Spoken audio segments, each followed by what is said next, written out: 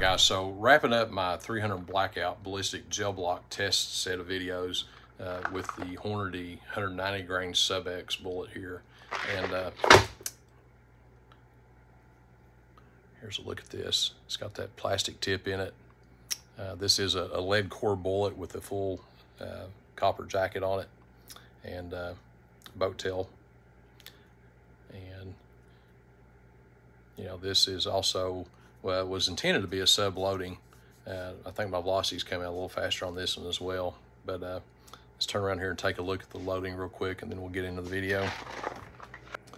All right, so no big surprise. CCI uh, number 400 small rifle primers and Hodgdon little gun powder and uh, Starline brass. I mean, uh, you know, when you got a good thing, why change it up? So the only big difference here from some of the previous loadings is uh, there's the bullet, it's the Hornady Sub X, 30 cal, 190 grain, uh, 308 caliber. And uh, let's, uh, let's get into the video, guys, and see what you think.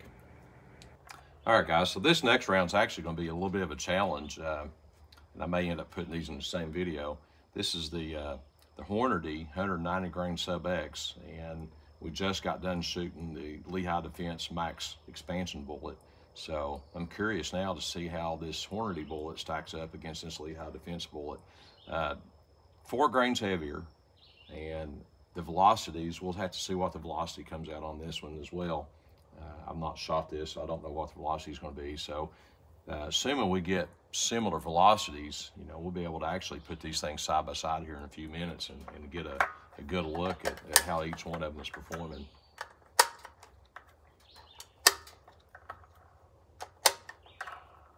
I do have the Garmin reset already, so we should be ready to go.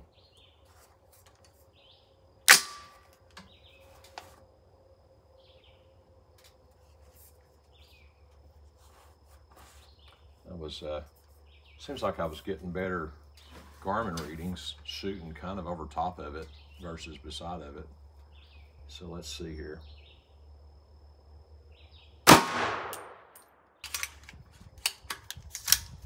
And I did get a velocity. Uh, this one's also a little faster than sub at 1114. Not as fast as the Lehigh Defense, but uh, let's go see what it did.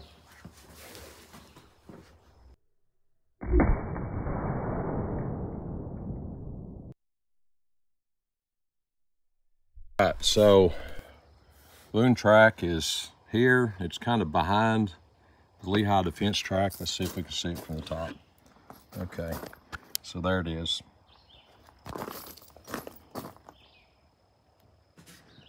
It tracks right on down. And uh, all right, here we go, guys. So this is the Hornady Sub X. I have the ballistic tip and the bullet. Um, I don't see,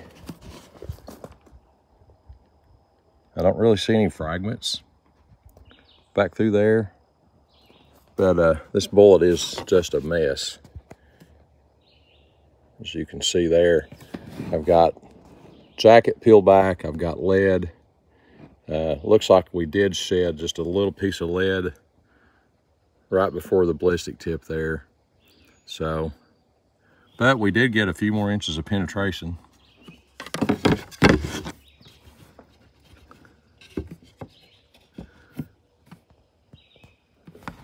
Looks like total penetration is about 22 and a half inches.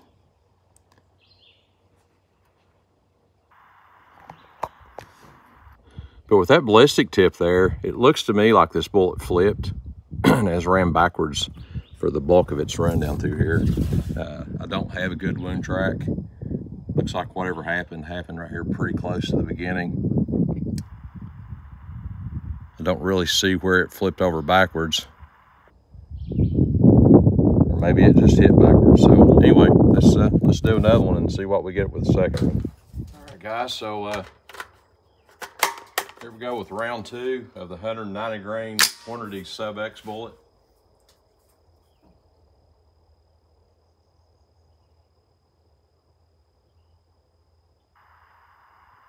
All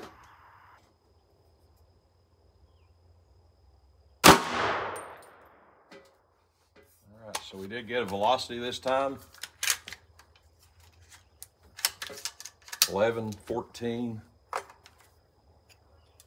Standard deviation. No, I'm sorry. We did not get a velocity. It's only showing one shot. So no velocity on that one, but we did get a catch. Let me uh, let me put a couple of these into the backstop down there. Let's see if we can get this velocity dialed in here a little bit better.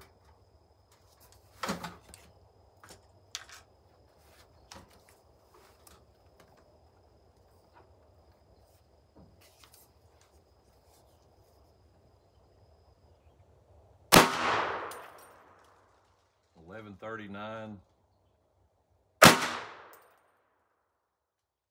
Eleven seventy. Okay.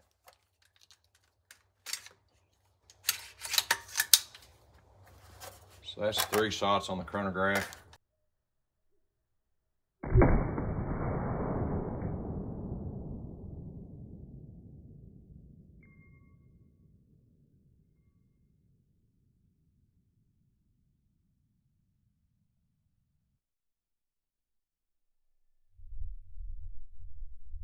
Right, guys, let's see what this one did. All right, guys, so here's the Hornady 190 grain sub X bullets. Uh, did recover them. The ballistic tips, um, uh, they were rubbery and actually broken up into pieces, and there are some fragments of lead left in here as well. Uh, was not able to manage to dig those out of the gel block. So uh, anyway, let's take a quick look at these again. So I'm really disappointed in these. I know these are running a little bit faster than sub velocities, but expansion, weight retention, uh, the uh, the lead completely uh, peeled away from the, the copper jacketing. Got a little friend there checking it out. And, uh, you know, the jacket went one way, the lead went the other way. Both of these bullets turned backwards. And apparently when they did, the, uh, the petals also folded back up into the bullet. The lead folded back in. Um, it was just, uh, Nothing really typical at all. Uh, wound channel on the first one was not that impressive. A better wound channel on the second one up to where it flipped backwards and then after that it just took off. So, all right guys, we'll get these back and get some more pictures. Uh, like I said, chrono data will be coming up as a slide here at the end of the video, so stay tuned. All right, guys. So, I don't know about you guys, but I was uh, very disappointed at these results. I honestly expected much better results from Hornady's bullet on this. Um, I weighed these out, recovered the polymer tip and weighed them with these. Uh, you saw from the slides that the, uh, the the unfired bullet was 190.8 grains, and then you saw the weights of the of these two. So we we did have some looks like some copper petal and maybe some lead uh, weight loss on these. But most importantly um, these didn't really expand and open up uh, like they were supposed to. Um, from from the, the gel pictures you saw that these bullets went in eight or ten inches they opened up uh, appeared to open up like they were supposed to uh, and then tumbled over and continued on into the second gel block backwards. And that backwards force, uh, I'm sure, is what actually folded the petals back closed. I mean, this one here, all but one petal literally just kind of closed back up. And, yeah, you can see there, you know, sort of putting the polymer tip in there. If these gone a little bit longer, they may have uh, gone back to their original firing. Nah, I'm just kidding anyway, but even at that, you know, this bullet did not change diameter much at all. Uh, at some point, I'm sure it was opened up and a lot wider, but for the bulk of its travel, it was not. Now, like I said, these were traveling a little faster than subsonic. Did that factor into it? Possibly. Uh, I will also be changing these back out, the loading on this. I will be slowing this bullet back down and I will be putting this back in the gel block later once I get it down to uh, around a thousand foot per second. uh, to see what it does. You know, maybe I was overdriving this. Uh, that's my question. Uh, if you guys have had any experience with these, I'd be glad to hear it. but uh, for right now, uh, of everything I shot into the gel block in this last set of six videos, this has been the most disappointing. Uh, you know, I'll say I got exactly what I was expecting out of the Barnes, uh, exactly what I was expecting out of the Lehigh Defense, exactly what I was expecting out of the Nosler, and also for the Berry's plated bullets. But the Hornady, I was expecting a, a, a much better, a much better result than this. So, guys, definitely will be a follow-up video on this one, uh, and also slowing down the Lehigh Defense. So, uh, so at 11, 1140 some foot uh, per second on these, uh, I was pushing these about 80 foot per second faster than sub velocities, uh, as opposed to the, the, the Lehigh Defense. Do you think this is enough velocity increase over subs to cause this bullet to overexpand? Let's hear that in the comments. Like I said, I, I do plan on doing a follow-up video with this. Uh, I first got these, when did he first come out with these, I, I, I went all in and I bought like three boxes of 190 grain, and I think I've got a box or two of the 175 grain. Uh, so I I will be working to get a good functioning bullet with this um, out of both of those those grain weights. Uh, so this is kind of concerning since I've got so many of these and it performed so poorly on this particular outing. So uh, like I said, we'd love to hear your comments uh, or questions. But I, I, do plan on loading this down a little bit and trying to slow this down and get into that 1,000 to 1,060 foot per second node.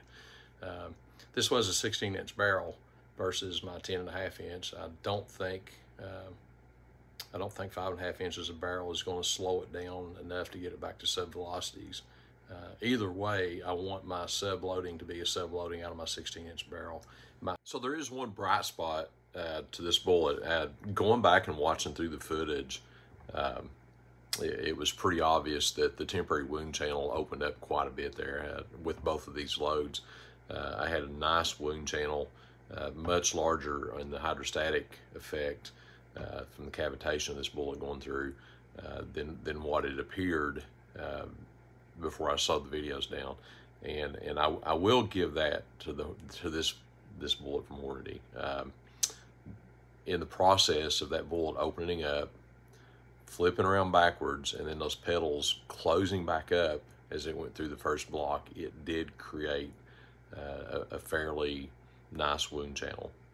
So that that is a, a little bit of a saving grace uh, from the results on this test. But the, the final state of that bullet mechanically, because the lead and the copper bonding had, had come apart, uh, was still a little concerning.